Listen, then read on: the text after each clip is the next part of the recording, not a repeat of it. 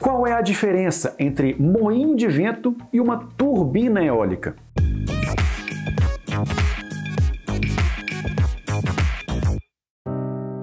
Fala amantes da engenharia, meu nome é Igor Felipe. E hoje vamos falar de duas máquinas fundamentais que são usadas no desenvolvimento da humanidade que utilizam o vento como sua fonte de movimento, os moinhos de vento e as turbinas eólicas. Mas antes de começar o vídeo, eu tenho um pedido para você. Muitas pessoas que assistem nossos vídeos não se inscrevem no canal. Então, na boa, se você já clicou no vídeo, é porque achou o tema interessante e chamou sua atenção. Nós postamos vídeos semanalmente sobre outros temas interessantes também, que eu tenho certeza que você vai gostar. Então, se você ainda não clicou em inscrever, vai lá, ajuda a gente e clique no ícone para se inscrever. Sério, você não faz ideia de como isso ajuda o canal, incentiva a nossa equipe e aumenta a nossa relevância na plataforma. Então dá aquela força. Ah, e se assistir todo o vídeo e curtir o conteúdo, deixe seu like também. Fechou? À medida que o vento sopra, também sopram as pás dos moinhos de vento e das turbinas eólicas. Essas enormes máquinas de palhetas, chamadas de moinhos de vento, existem há mais de mil anos com os primeiros moinhos de vento aparecendo na Pérsia por volta de 800 anos depois de Cristo. Esses primeiros moinhos de vento foram usados exatamente para o que o seu nome indica, ou seja, eram moinhos movidos pelo vento. O vento girava as palhetas, ou pás, do moinho de vento, girava um eixo central que girava um moedor de grãos, geralmente feito de pedras grandes e planas para produzir farinha e outros produtos de grãos. Posteriormente,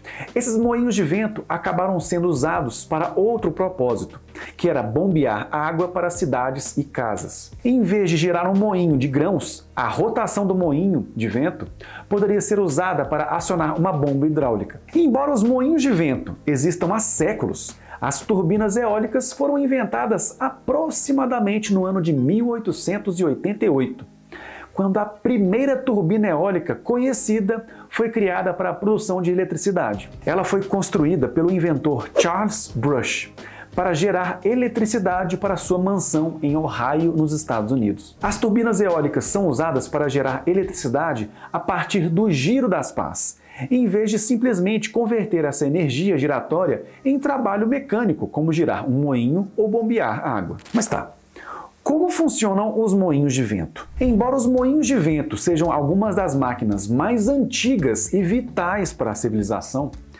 elas têm algumas diferenças funcionais em relação à tecnologia de turbinas eólicas muito mais recente. As pás de um moinho de vento estão mais próximas ao solo e, portanto, devem aproveitar as correntes de ar próximas ao terreno para girar. Como as correntes de vento são geralmente menores perto da superfície da Terra do que em atmosferas mais altas, os moinhos de vento devem ter pás maiores para captar o máximo de vento possível. Apesar de ter sido criada há muito tempo atrás, elas só se tornaram populares em meados do século XIX. Incentivadas pela Revolução Industrial nas décadas seguintes, até 1850, mais de 6 milhões de moinhos de vento mecânicos foram instalados apenas nos Estados Unidos para alimentar bombas e fábricas e atender a outras necessidades de energia. Essa popularidade foi impulsionada pela simplicidade dos moinhos de vento como geradores de energia mecânica.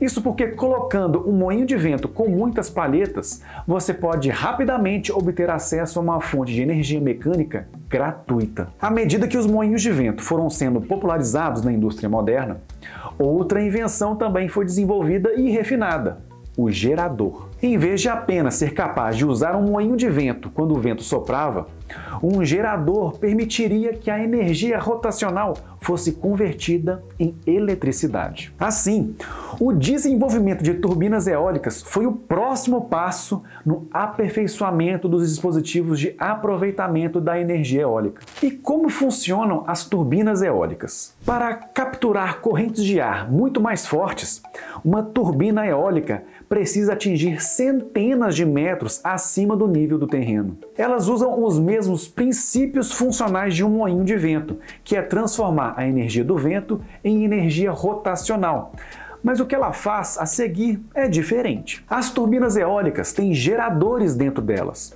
geralmente conectados diretamente a uma haste giratória. Ao girar o gerador, é produzida uma corrente elétrica que pode ser usada para carregar baterias, alimentar a rede ou operar dispositivos eletrônicos diretamente. A melhor maneira de entender como isso funciona é considerando um motor mas ao contrário. O motor elétrico usa eletricidade para criar movimento, enquanto uma turbina eólica usa o movimento para produzir eletricidade. Mais especificamente, as pás de uma turbina eólica captam a energia cinética do vento e a transformam em energia rotacional. Essa energia rotacional é então alimentada por uma série de engrenagens para aumentar a velocidade de um gerador. Essas turbinas geralmente começam a produzir energia em velocidades de vento de 8 a 16 km por hora e desligam em altas velocidades próximas a 96 km por hora para que não funcionem mal ou se danifiquem. Ou seja, pouco vento é ruim, pois ela não funciona, mas muito vento também é ruim, pois ela danifica.